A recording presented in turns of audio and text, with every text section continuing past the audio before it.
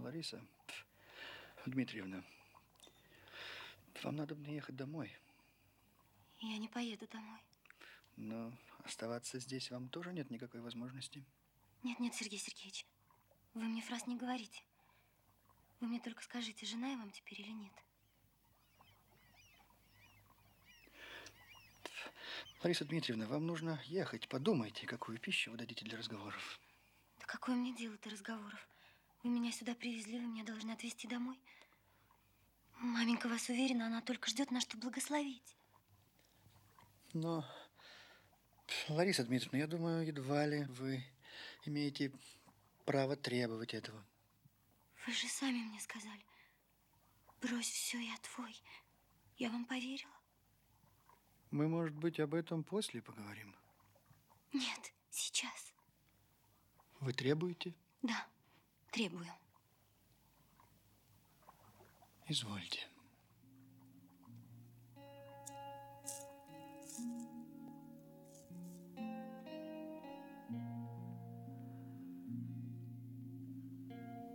Послушайте.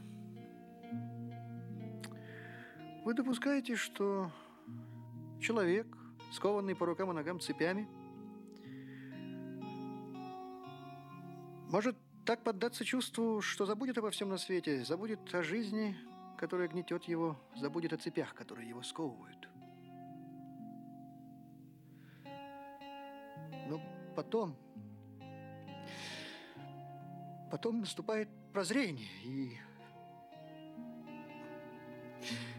и холодный рассудок говорит о том, что эти цепи разорвать невозможно.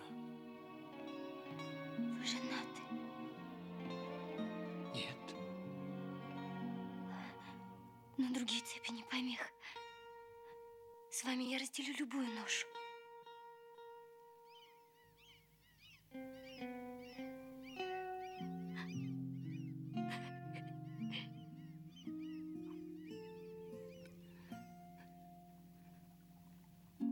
Я обручен, Лариса.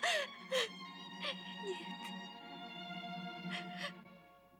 Вот эти цепи, которые сковывают меня на всю жизнь.